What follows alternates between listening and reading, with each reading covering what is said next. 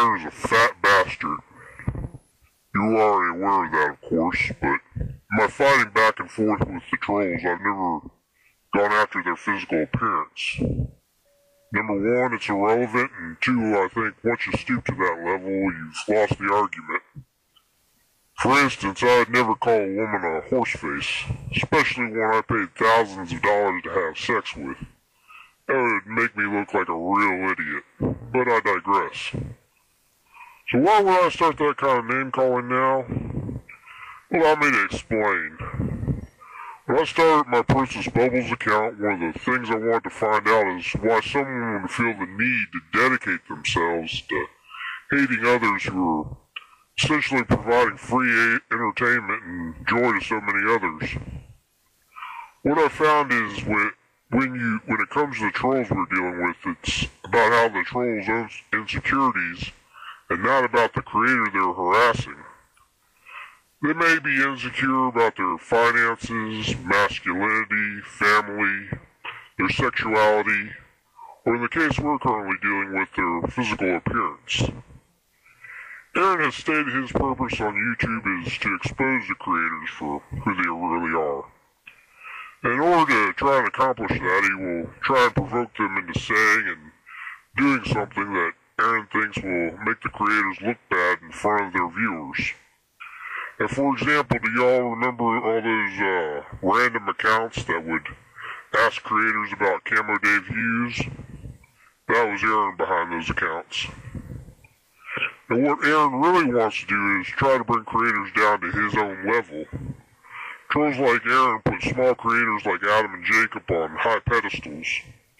This is so that they can feel more accomplished when they think they prove, something against a creator in one of their troll videos.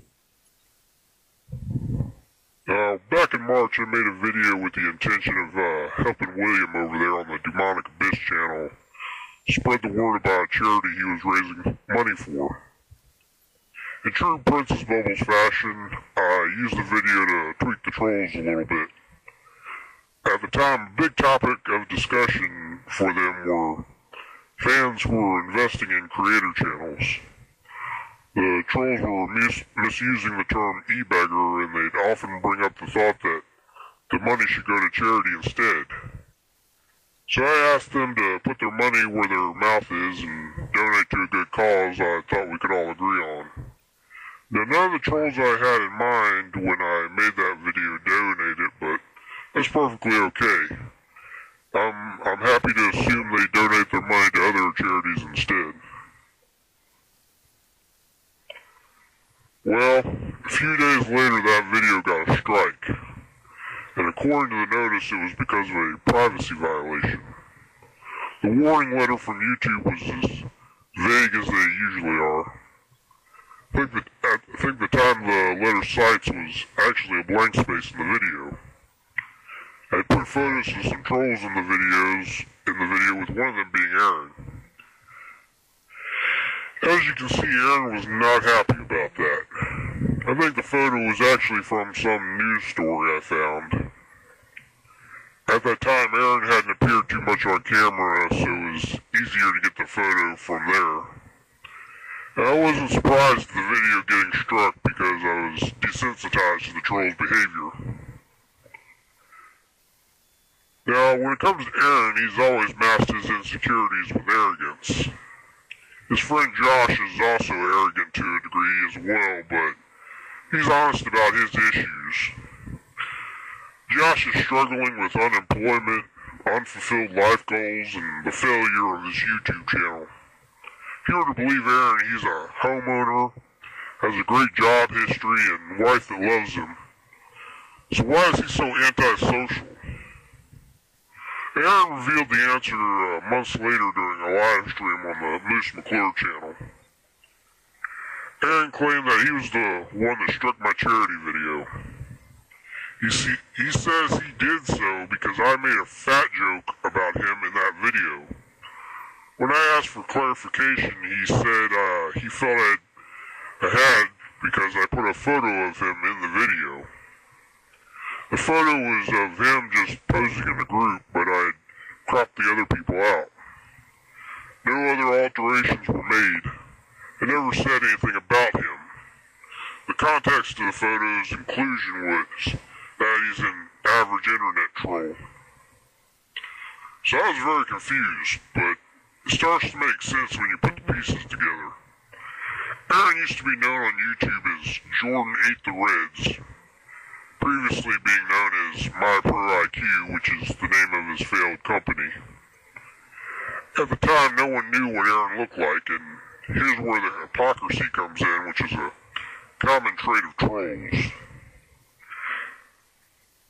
Aaron says Jordan Ate the Red's name was in reference to a photo of Days with Jordan the Lion when he was a heavier person, appearing to be miserable because he had just eaten the Cincinnati Reds baseball team or something like that.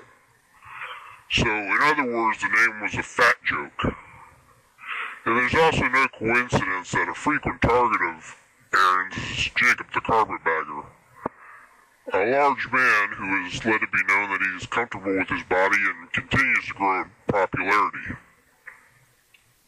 If you look at old photos of Aaron, it's obvious he's been obese for a long time. No doubt it's been a very negative experience for him given our society's unfavorable treatment of people like him. Now I bring it up not as an excuse for Aaron's childish behavior, but as a cause. This is where morals are supposed to come into play. Luke 6.31 records Jesus saying, Do to others as you would have them do to you. Now, Christian or not, it's a great rule to follow, but Aaron is morally compromised. He has spewed hate and made alliances with other hate-filled people.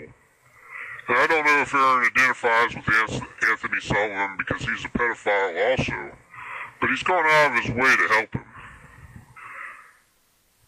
So to someone who's so insecure in their own physical appearance that not only would they try to spread their misery to other people, also strike a video seeking to help a charity for abused children, I would say, Aaron, you are an immoral, fat, miserable bastard, and I hope you burn in hell.